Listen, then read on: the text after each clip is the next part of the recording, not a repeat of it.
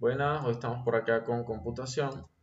Vamos a trabajar hoy con gráficos en Word. Hoy les voy a enseñar cómo hacer gráficos en Word. Tenemos una gran variedad de gráficos. Nos vamos a ir a Word y vamos a hacer estos dos tipos de gráficos. Tenemos gráficos de barra y tenemos curvas. ¿Ok? O gráfico de, líneas, ¿no? Este, hay mucha, muchas, muchos más tipos de gráficos. Hay mucha variedad en Word. Pero hoy vamos a trabajar con estos dos. ¿Ok? Bueno, entonces vámonos a Word a trabajar. Por acá estamos en Word, entonces me traje los modelos de gráfico. Dice uno tipo de uso y distancia versus tiempo. Bastante sencillo hacer gráficos acá en Word. Si ustedes observan, hay una pestaña acá que dice insertar. Luego de eso están los gráficos acá. Chart en inglés o gráficos. Y me muestra las diferentes opciones de gráficos. El gráfico que se parece más al que estoy trabajando, al que tengo en el diseño es este, pero no es el único. Fíjense que hay diferentes modelos de gráfico. Miren este, que es columnas. Este también es columnas. Este de hecho es tridimensional. Eh, columnas tridimensionales de igual manera. Y por acá tenemos también columnas tridimensionales. Pero hoy vamos a trabajar con este. Sin embargo, voy a mostrarles. Fíjense, por acá tenemos también de líneas, líneas sin puntos líneas por acá también, líneas con puntos, ok, y tenemos incluso tridimensional. Tenemos también los gráficos de torta, hoy no vamos a trabajar con ello, ya luego trabajaremos, de torta tridimensionales, comparativos, ok, circulares. Tenemos lo que son los gráficos de barras, son horizontales. También tenemos opciones acá, variadas para trabajar con ellos tridimensionales. ¿Ok? Tengo gráficos de área. Y por acá está el segundo modelo de gráfico, que es el de curvas. ¿Ok? Tenemos por acá curvas para trabajar. También tenemos gráficos de burbuja. Eh, y hay una cantidad de gráficos adicionales. Superficie, gráficos de araña y algunos comparativos. Bien. Vamos entonces a realizar hoy solamente dos, que son el de curvas y el de columnas, eh, histograma, se la acostumbra llamar. Vamos entonces a trabajar con este. Le doy clic a la opción de gráfico que deseo y le doy OK. Va a aparecer una tabla donde yo voy a introducir los datos. Entonces fíjense que aparece esta tabla que está acá. Bien, aparece esta tabla y debemos nosotros ingresar los datos. Como nos están dando un gráfico modelo, debo observar en el gráfico los valores los valores con los que está trabajando el gráfico. Observen lo siguiente. Eh, dice blanco, ¿verdad? Azul, rojo y verde. Entonces acá en el costado escribo esos nombres que son blanco, azul, rojo y verde. Ahí lo tengo. Esos son los nombres que van a aparecer en la parte inferior. En la parte ¿ok? De las columnas, ¿ok? En la parte de las columnas, yo voy a tener entonces tres categorías. Fíjense que la celeste es pequeña, luego vienen las medianas y luego vienen las grandes. Esto hace referencia es a cada una de las barras. Y esas, esas se escriben acá arriba. Escribimos entonces pequeño, mediano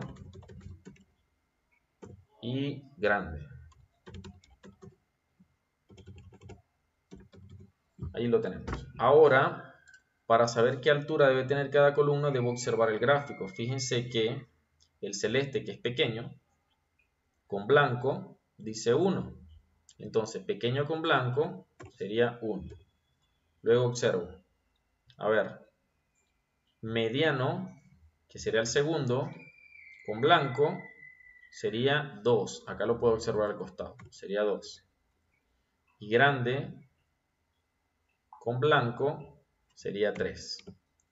Voy con el segundo. Ahora vamos con el azul. Fíjense que esta es la línea del azul. El pequeño con azul sería 3. El mediano con azul sería 2. Presten mucha atención. El grande con azul, observo por acá, que es mi tercera columna, la gris, y acá al costado tengo 1, entonces allí va 1. Luego viene el rojo, que son estas tres que están acá. Comienzo de nuevo, pequeño con rojo, 5. Pequeño con rojo, 5. Sigo. A ver, mediano con rojo, me voy acá a la segunda columna y observo 4. Luego sigue grande con rojo, sería la tercera columna, 3. Muy bien, ya nos falta solamente las tres columnas de verde. Pequeño con verde sería 3. Pequeño con verde, 3. Mm, mediano con verde, leo acá al costado, 4. Y grande con verde, 5. Ahí está. He llenado la tabla y con eso vamos a tener nuestro gráfico ¿ok? construido. Como ustedes pueden ver acá, el gráfico que habíamos abierto ha cambiado totalmente. ¿ok? Y se parece mucho al de el diseño original. Lo único que le hace falta es esta palabra que dice tipos de uso. Si observo mi gráfico, no tiene título. Entonces debo colocarle el título. Esto sería entonces tipos de buzo. Ahí lo tenemos. Entonces ahora sí está como el del diseño. ¿Lo ven? Pequeño, mediano, grande. Tipos de buzo. Tenemos las columnas. Revisamos. La primera llega hasta 1, la segunda hasta 2, la tercera hasta 3. Igual está acá. ¿Lo ven? Ahora vamos a construir el gráfico de líneas. ¿Qué pasa con esta ventana que ha quedado acá? Si le dan doble clic, ella se pone grande. La pueden cerrar ya los datos están ingresados y la pueden cerrar. ¿Qué ocurre si la han cerrado por error y los datos no los han llenado completamente? Le dan botón derecho en la parte blanca, acá en la parte blanca, porque si le dan botón derecho en otro sitio no va a funcionar. Acá en la parte blanca le dan botón, botón derecho, ¿ok? Y le dan acá edición de datos. Le dan clic a edición de datos y la tablita debe aparecer de nuevo acá aparece nuevamente la tablita. ¿Ok? Allí la tienen, nuevamente, con los datos que teníamos y si alguno estaba malo, pues lo pueden modificar. ¿Qué pasaría si, por ejemplo, a blanco, que es 1, yo le coloco 6? Fíjense qué ocurre, la columna sube hasta 6, ¿lo ven? Ella estaba, vamos a darla como estaba antes en 1. ¿Qué pasa si a mediano, que llega hasta 2, yo le coloco entonces mediano con blanco, le coloco 0. Fíjense, la columna desaparece. Si le coloco 5, la columna va a subir. Vamos a dejarlo como estaba en 2. ¿Qué pasa si a rojo pequeño con rojo le coloco 1? Miren qué ocurre, la columna baja hasta 1. Si le coloco 3, sube. Lo voy a dejar como estaba, que es 5. Entonces, al cambiar los datos, cambian el valor y la forma de las columnas. Además de eso, si ustedes desean incluso, se puede cambiar el color de las columnas. Estos iconos, de hecho, se pueden cambiar. si le dan botón derecho, se pueden este, cambiar incluso los colores. Por acá tengo color, fíjense que le puedo colocar un color rojo. Y todas las columnas también cambiarían a rojo. El segundo, el mediano, miren, le puedo dar acá y le doy a rellenar y le puedo cambiar, póngase amarillo. Al grande hago lo mismo, observo por acá y le puedo colocar color morado. Ustedes pueden hacer diseños con estos, con estos gráficos a su voluntad. Si le doy acá botón derecho, también le puedo cambiar opciones de gráfico. Pueden ser incluso gradientes, pueden ser texturas, puedo colocarle una textura a mi gráfico. ¿Lo ven? la textura de fondo que yo desee, le puedo colocar. ¿Ok? Son parte de lo que es la edición de texto. Ustedes pueden jugar con esto, hacerlo a su manera, a su estilo. Miren, le puedo colocar un borde amarillo, puedo colocarle líneas punteadas, puedo colocarle líneas más gruesas. Ahí está. Espero que ustedes hagan sus diseños este, libremente. Em, acá en Word y este, le coloquen su toque personal. No tiene que ser el mismo color, pueden cambiarle el fondo, pueden cambiar el color, El tipo de letra incluso se puede cambiar. Yo puedo cambiarle el tipo de letra. Fíjense. Acá esta letra también se puede cambiar. Si observo por acá le puedo cambiar la letra. El color de letra se puede cambiar también. El tamaño de la letra se puede cambiar.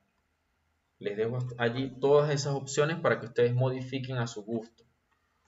Bien, vamos con el segundo gráfico que es distancia versus tiempo. Nuevamente le doy insertar, le doy gráficos y busco los gráficos de línea. En este caso busco las curvas que las tengo acá. Bien, y le doy entonces, este va a ser nuestro gráfico, le doy OK.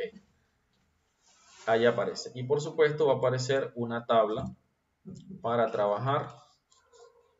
La curva que aparece no es la que yo deseo. Entonces debo buscar la, la que me están dando originalmente, que sería esta para ver qué valores tiene. Y, entonces según ella guiarme para escribir los valores acá y me queden iguales. Si yo observo el primer punto está 0 con 0. 0 con 0. Entonces yo acá escribo 0, 0. Allí va el primer punto. El segundo punto mmm, más o menos debe ser 1 con 1. Vamos a colocarle. Debe quedar 1 con 1. Bien. El segundo punto sería 2 con, fíjense que está antes de 5. Entonces sería 2 con 4. Bien. Y vamos a continuar porque hay más puntos. Está el punto 3 que llega antes de 10. Debe ser 3 con 9. Ahí está. Continúo.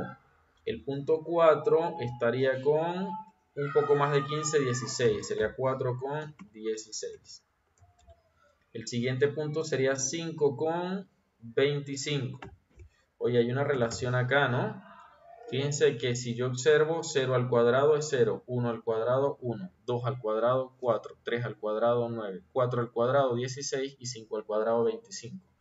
Hay una relación acá cuadrática. Bien, me voy entonces al gráfico que estoy construyendo, que sería este que está acá. ¿Ok? Aquí lo tenemos. Se parece bastante al que nos dieron. Bien, solamente el título que hay que cambiarlo. Esto ya lo podemos cerrar. Lo cerramos y no pasa nada, ya nuestros valores quedan allí fijos. Si me he equivocado en un valor, lo mismo que les dije para el otro. En la parte blanca le dan botón derecho, editar textos y el gráfico aparece de nuevo. Vamos a hacer de todos modos algunas pruebas a ver qué ocurre. ¿Qué tal que yo este 25 lo coloque como 15? Fíjense qué ocurre con el punto. El punto baja. Si este 5 yo le colocara 10, baja más todavía. Ok, acá le colocaría 25. ¿Qué pasa si al 1 yo le coloco 10? Fíjense cómo se ve modificada la curva. Sube. Si al 2 le coloco, por ejemplo, un valor negativo, menos 1, también podría ser, fíjense cómo baja. ¿Ok? Menos 4. Baja más todavía. Si a 1 le coloco menos 1, baja más. Si por ejemplo al 3 le coloco menos 8, fíjense cómo se ve modificado el gráfico. Lo voy a volver a colocar como estaba. 1, 2 al cuadrado 4, 3 al cuadrado 9, 4 al cuadrado 16 para que me quede tal cual. Pero si yo observo, ya voy a cerrar esto, si yo observo este gráfico en realidad no se parece, o sea, se parece pero no está igual. Estos puntos son más gruesos y tienen como una sombra. Acá tengo algunas opciones rápidas para hacer ediciones de texto. Selecciono mi gráfico y puedo mover acá entre opciones prediseñadas de texto. Fíjense cómo aparecen diferentes opciones. ¿Ok? Vamos a ver si alguna de estas se parece a la que yo tengo allá. Esta sería, miren, la última es idéntica. Se ven los puntos más gorditos con sombra. Pero pueden hacer cambios rápidos con las ediciones acá, las ediciones de diseño. Si hay algunas que les guste, lo pueden hacer. Lo que son los puntos, ah, miren, nos faltó eh, modificar el título, ¿no? Distancia versus tiempo distancia versus tiempo. Como ya les dije en el anterior, también pueden eh, cambiar lo que es el color de letra, el tamaño, las opciones de letra las pueden cambiar. Eh, ¿Qué otra cosa pueden cambiar? El fondo, si lo desean, botón derecho. Acá tienen opciones para cambiar el fondo. Puede ser texto. Eh, perdón, dice, ¿cómo le llamamos? Texturas. Bien, a colocarle, por ejemplo, una textura de papel. El color de la línea también se puede cambiar. Fíjense que la línea la podría colocar amarilla. Acá las líneas verticales, las líneas horizontales, eh, las líneas de la gráfica como tal. Se pueden modificar. Los puntos, lo que son los puntos, también se pueden modificar ok vamos a ver vamos a colocarle acá alguna opción diferente se pueden aumentar de tamaño también vamos a ver el puntaje por acá hay muchas opciones acá en realidad para modificar bien bueno vamos entonces a quedarnos con un gráfico prediseñado ustedes pueden explorar por acá opciones la que más les guste para trabajar yo les voy a dejar esta. ¿Ok? Y allí tengo entonces el diseño de mi gráfico. Voy observando los puntos para que coincidan 25, 16, 9, 5, allí lo tengo todo.